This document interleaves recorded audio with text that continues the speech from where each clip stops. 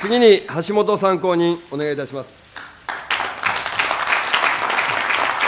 大阪市長の橋本徹です。よろしくお願いします。えー僕はですね、あの今回の自治法改正について、えー都道府県と政令市の調整会議と、それから総合区についての規定、まあ、ここに絞ってえー意見を述べさせていただきたいと思っております。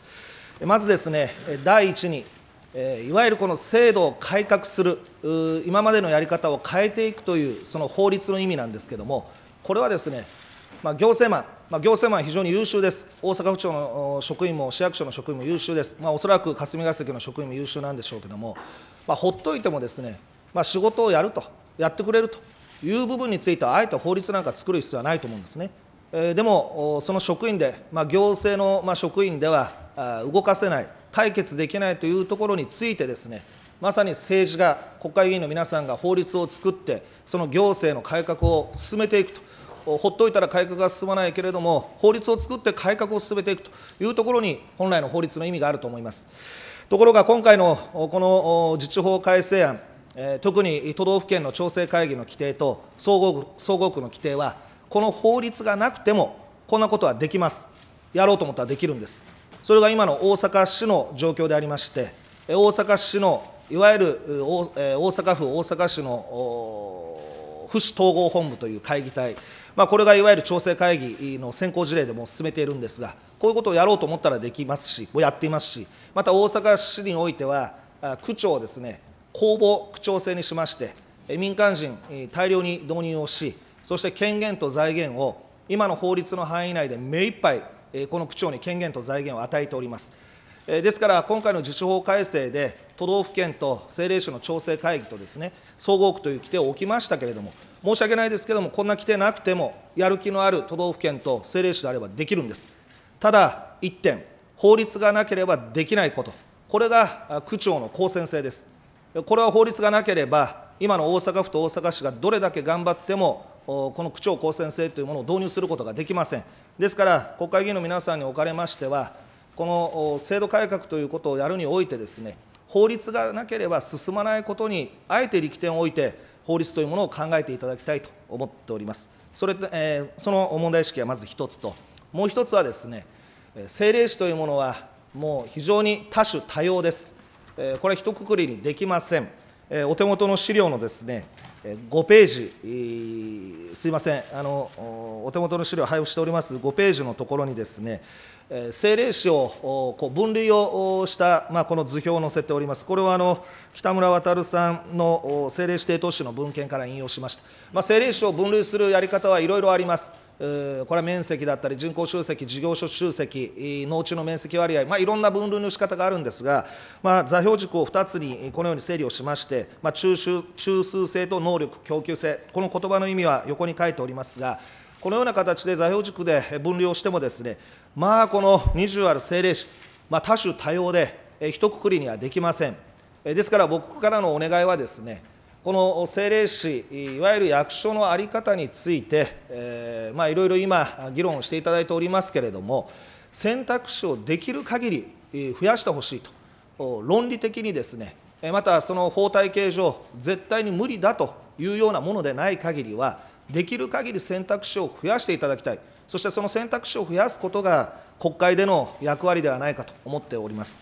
まあ、今、各政令市はですね、服のサイズの合わない、まあ、子どものような状況でありましてね、まあ、とにかく合ってないんですよ、その服のサイズが。大阪市もですね、もう窮屈でしょうがない、この政令市の枠をはめられております。ですから僕はこれ、20の政令市がある以上は、最低でも20の選択肢、もっと言えば40でも50でも選択肢を増やしてもらってですね、そしてその中から、あその各地方がですね、最適なものを選ぶんだと、選択できるような状況にする、このような仕組みにしていただきたいなと思っております。まあ、あのくどくど言って申し訳ないんですけれども、まあ、洋服屋でもですね、サイズが1つ、2つしか並べていない洋服屋はすぐに潰れてしまいます。まあ、いくつもの多種多様な洋服を並べておく、まあ、そういう店が入るわけでありまして、ぜひこの政令制度につきましては、今回の自治法改正で一定のまあ前進が見られるかと思うんですけれども、さらにこの区長公選制というところが、まさにこの政令市改革の一番の重要なポイント、もっと言えばですね、この区長公選制が導入されますと、後々にはこの大都市改革が全国に波及し、えー、僕はその先にですね同州制につながっていくと考えております。えー、同州制を同州制に賛同する国会議員の皆さんは、先の衆議院選挙で、えー、圧倒的多数議席を得たと思うんですが、同州制なんていうのは、これは役所の再編、えーまあ、役所を一から作り直すという話でありまして、今までのですね、まあ、市町村の枠組み、都道府県の枠組みを前提としているような議論では、同州制なんていうものには結びつきません。あのこの区長公選制というものを、全国の政令市全部に適用してくださいというつもりはありません。ただ、そういうものを望んでいる地域、特に大阪の状況、大阪なんていうのは特にそうなんですけれども、そうであればですね、そこが選択できるような選択肢を広げていただいて、この区長構成制が採択、まあ、そういう規定ができますと、もちろん、これは大阪府議会、大阪市議会での議論、そして議決というものが必要になりますけれども、もしこのもしこの区長公正制というものが導入されますと、大阪の姿、形は、今までにないようなその姿になるものと確信をしております。以上、まず、ほっといても改革が進むようなものについて、あえて法律というものを規定する必要はない、今回の都道府県の調整会議、また総合区長というこの制度はですね、こんな法律なくても、やる気のある都道府県と政令市であれば、これ、こんなことはできます。そしてもう一つは、政令市の実情に合わせたその選択肢というものを可能な限り探っていただききたいというのが、僕からの要望の、まあ、主要な2点であります。そしてあの今回ですね、この政令市の改革において、よく言われている二重行政の話と、二重行政解消の話と、そしてあの住民自治を充実させていくという話、まあ、大都市というものは住民自治住民自治が不足しているということを言われていますが、まあ、この2点のうちですね、僕はこの住民自治を充足させていくという点に、まあ、特に力点を置いて意見を述べさせていただきたいと思います。その前に、二重行政についてなんですけれども、都道府県の調整会議についての一番の欠点はですね、これは日本の法律、まあ、日本の統治機構の一番の欠点にも共通するんですが、結局、協議、会議というものを設けてそれで終わりと、一番重要なことは決定権をどこが持つんだというところが重要であるにもかかわらず、今回の自治法改正では、この都道府県と政令市の調整会議において、決定権は定められておりません。これは教育委員会制度でも今、議論されているかと思いますけれども、結局、決定権とその責任の所在が不明という、まあ、これは日本の統治機構に共通する問題点だと思いますが、今回の都道府県と政令市の調整会議についてもですね、この決定権の所在がはっきりしておりません。全国各地の都道府県と政令市にはさまざまな調整会議があります。これはこれまでの大阪府や大阪市にも調整連絡会議がたくさんありました。この調整連絡会議というものは、結局、まあ協議をして合意を得て進めていこうというものなんですが、冒頭言いましたとおり、行政マンにですね、まあ、ほっといても、任せておいてもですね、進むような案件は、これは進んでいくんです。調整会議や連絡会議で、これは進んでいきます。ただ、その改革は、まあ、行政上できる範囲ということですから、まあ、本当に今の日本にとって必要な大胆な改革はできません。例えば全国の、まあ、調整会議、連絡会議、えー、例えば信用保証協会で連携をしましょうとかですね、各公衆衛生研究所で連携をしましょう、こんな連携なんていうのはどこでもやってます。ただ今、大阪市で、大阪府でやってるものは、例えばこの間決定したのは、消防学校を統合させました。これはあの全国初です。大阪府の消防学校と大阪市の消防学校を一つにまとめました。これから5月の下旬に向けて正式に認可がおりますけれども、信用保証協会、これも大阪府のものと大阪市のものを統合、合併させました。これも全国初です。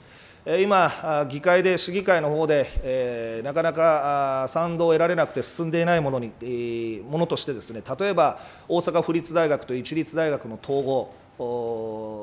また大阪府立病院、一律病院の統合、こういう問題もですね、え今までの連絡調整会議、これではもう絶対できないような話をですね、まあ、今、大阪府、大阪市は進めています。なぜこれが進んでいるかといえばですね、決定権、これをきちっと定めているからなんですね。え、松井知事と僕の間でですね、え協議をして、え協議持ち越しにはしない、え必ず決定をすると。ただこれ、えー、消防の統合、消防学校の統合もですね、病院の統合も大学の統合も、これらの問題はですね、これやろうと思えば、どちらどちらかの自治体が損をします。えー大阪府庁なのか、大阪市役所なのか、必ず損をどちらかがしますので、だから今まで行政マンでは解決できなかったんですね。それを僕と松井知事の間で持ち越さないということで、すべて決定ということをやっていますので、行政の案としては、すべて統合案統合案はできています。ところが、残念なことに府議会、市議会で否決ということで進んでいない、まあ、そういう案件が多々あるんですけれども、この都道府県と政令市の調整会議の問題点はここにあります。決定権がありませんので、結局、ほっといてもできるようなこと、行政までできるようなことはまあ進むんでしょうけれども、政治が決断をしてやらなければいけないことは、この調整会議では決まりません。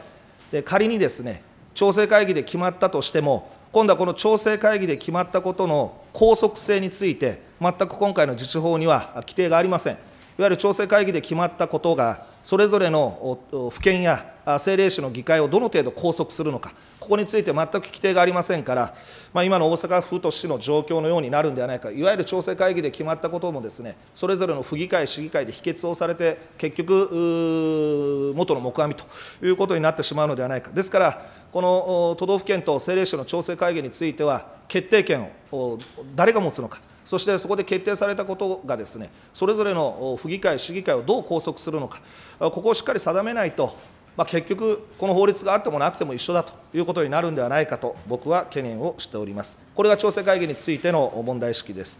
次に、住民自治の問題を、住民自治の問題について意見をさせてもらいたいと思います。10ページの、お手元の資料の10ページをご覧になっていただきたいんですが、僕はですね、え大阪府知事を3年、えー8か月務めまして、まあ、その後、今、大阪市長2年、えー6月ほど務めております。大都市の知事と大都市の政令市長を同時期に、まあ、務めているという、そういう存在は、なかなか全国でもいないかと思っております、まあ、自負しております。そういう意味においては、大都市制度や府県の問題点は、僕が一番よく知り尽くしていると、僕は自信を持っております。そこでの問題点は、この10ページに書いてあること、簡単に言えばこういうことです。大阪市、えー人口267万人、えー都道府県でえーの人口で言いますと、これは上から12番目、えー広島県や、まあ、京都府と同じような、まあ、人口を大阪市は要しております。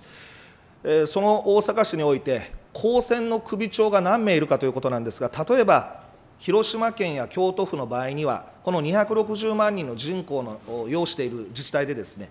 県知事とですね、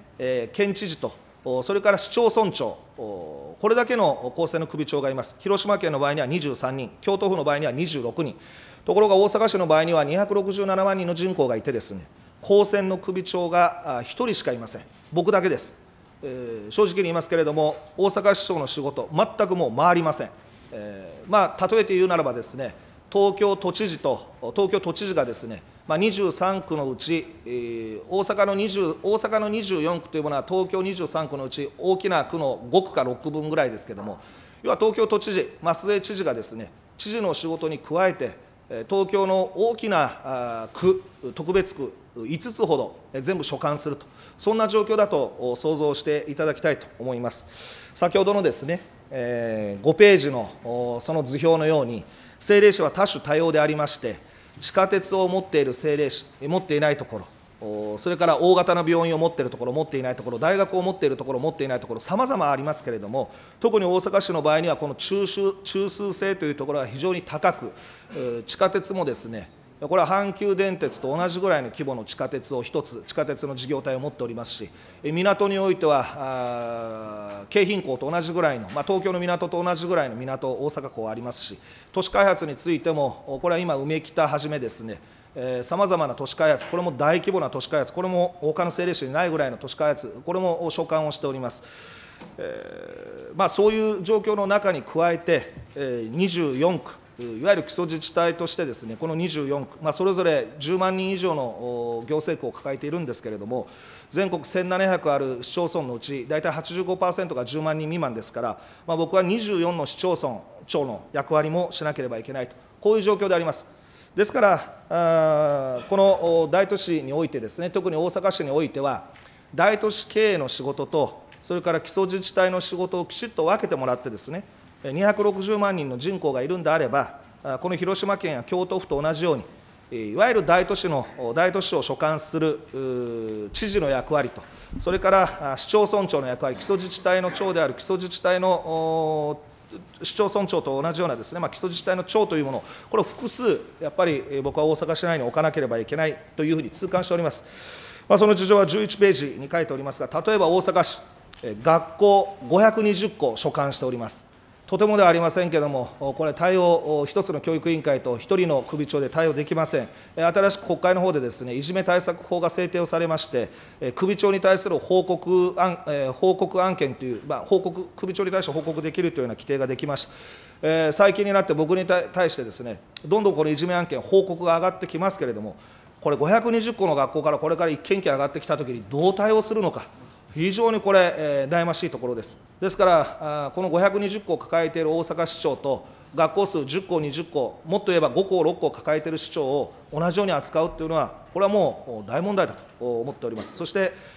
まあ、知事の時にはですね、学校は164校、高校164校だったんですけど、市長になったらですね、小中学校に高校が加わって520校になってしまいました。大阪市の管理道路も見てください。大阪府の時には、知事の時には1529キロの府県道路だったのが、市長になった途端、3853キロの、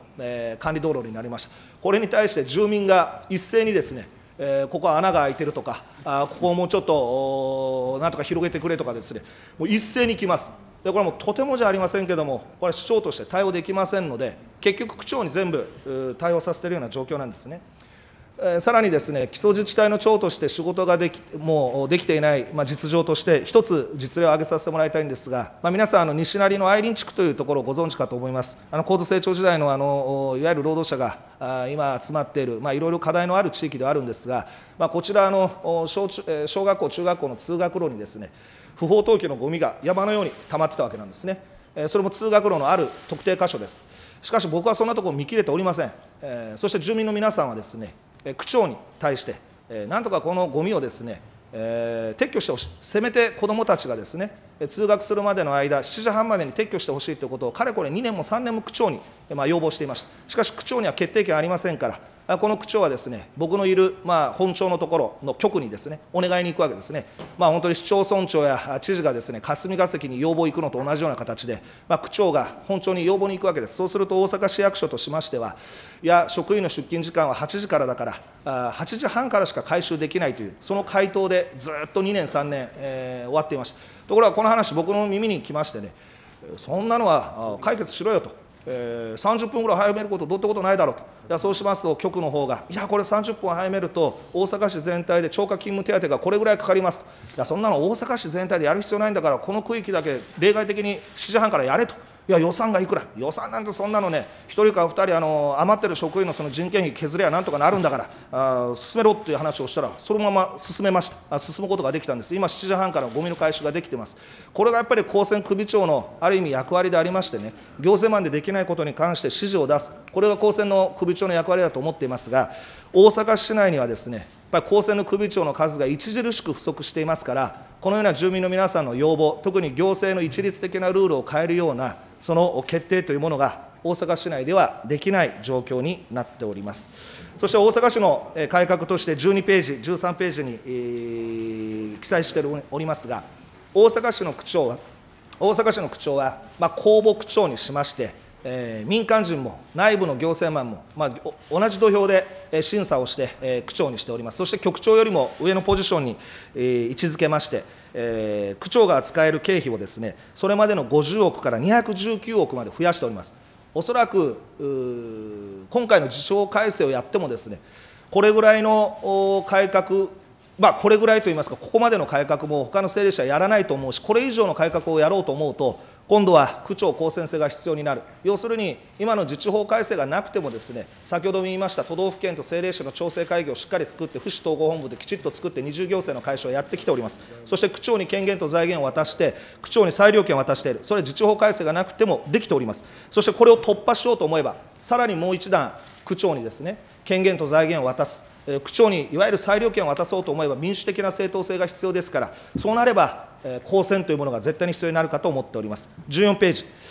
えー、今の現行制度と自治法改正案、そしてさらにもう一つの選択肢、もう一つの洋服を作ってくださいというのが、この区長公選制案です。えーいわゆる大、えー特別区設置法案、大阪都構想法案についてはもう制定していただきましたので、えーこうなるとですね、まあ、服が、洋服が1つ、公選区長制ということで、洋服が1つ増えます。これは自治法改正案と決定的に違います。えー区長と市長との関係、これが役割分担が明確化しますし、えー公選区長というものは実質的に執行機関になります。ところが今の自治法改正案であれば、特別職といえども補助職、補助職的な位置づけですから、市長の部下ですね、えーここはあ乗り越えなければいけない壁がありまして、やっぱり自治法改正案のこの特別職、総合区の区長は特別職、これはあくまでも市長の部下ですけれども、公選にすることによって、この市長の部下という位置づけから一つ踏み出すことができると思っております。そして最後に、この区長公選制をやった場合に、いろいろ懸念されていることがありますが、えー一つは三重構造になるんではないか、区長公選制にして区長と、それから政令市の市長と、そして大阪府知事、まあ、府県知事ですね、この三重構造になるんではないかということが言われていますが、僕はこれは先ほども冒頭に言いましたけれども、都市の実情に合わせて、まあ、洋服を作っていただければいいというふうに思っておりまして、もし仮に大阪にですね、三重構造の方がふさわしいんだということであれば、三重構造をやらさせていただきたい。え僕は大阪都構想というものが一番ベストだと思っていますけれども、議会でなかなかその賛同を得られません。まあ、そうであればですね、この三重構造というところも模索していきたいと思っております。ただ、今の自治改正での特別職というこの規定ではですね、今の大阪市役所の状態から何一つ進みませんから、もう一つ、この大阪の状況を打破するためにもですね、もう一つの洋服を用意していただいて、まあ、公選区長という規定を用意していただければ、あとは府議会、市議会の議論でこの選択を模索していきたい、いわゆる三重構造になったとしても、きちっと知事と市長と、えー区長の仕事の役割分担ができていれば、何ら問題がないと考えております。そのイメージ図が17ページです。えー区長構成案になりますと、市長と知事の間で、えー調整会議が設けられる、これが自治法の改正部分です。そして市長がですね、この真ん中の部分ですね、17ページの右の図で、真ん中の部分があ市長の役割になります。そしてあの区長の役割が、このお三層構造の一番下の役割になる。きちっと役割分担すればですね、何ら問題ありません。そしてあのこれは知政庁で、西尾先生から先ほどご意見ありましたけれども、先ほどこの知政庁での議論ではですね、市長と区長が見解が対立した場合にどうなるんだということですけれども、でもそれはですね、仕事の役割分担があれば、別にそこで見解の対立があっても問題ありませんし、それは住民が選んだ区長ですから、そしてよほどの場合には、どうしてもこれは問題だということになればですね、もう一度住民投票に付した区長の解任と。いうことも、そういう制度も作れるんじゃないかと思っております。そしてあの、えーそれぞれの区には、あそれぞれ区議会を置く必要もなく、まあ、政令市を残す以上は、政令市の議員がですね、もともと地政庁の規定にありました常任委員会というものを、これを必置義務にしまして、えー政令市の議員がそれぞれの区の常任委員会に入っていくというようなことで、十分、うこれはあ統治ができるんではないかと思っています。そして18ページが、あこの仕組みのお変わりようなんですけれども、